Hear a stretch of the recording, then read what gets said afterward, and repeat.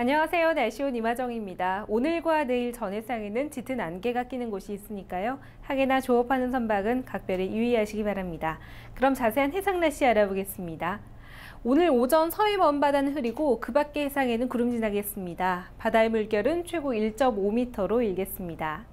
내일 오후 서해와 남해 서부 먼바다에는 흐리고 비가 지나겠고요. 바다의 물결은 0.5에서 1.5m로 일겠습니다.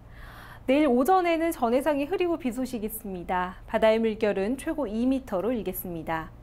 마지막으로 내일 오후에 남해와 제주도 남쪽 먼바다에 흐리고 비가 내리겠고요. 바다의 물결은 최고 2.5m로 일겠습니다. 다음은 제주도 앞바다의 날씨입니다. 오늘 오전 제주 앞바다는 구름 많겠습니다. 바다의 물결은 최고 1.5m로 일겠습니다.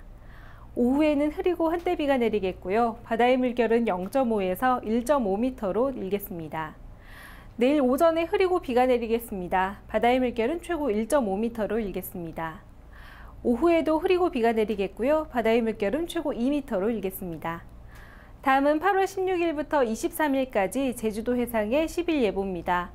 기압골의 영향으로 17일부터 19일 사이에 비가 내리겠습니다. 바다의 물결은 전해상에서 1에서 3m로 일겠습니다. 지금까지 해상날씨였습니다.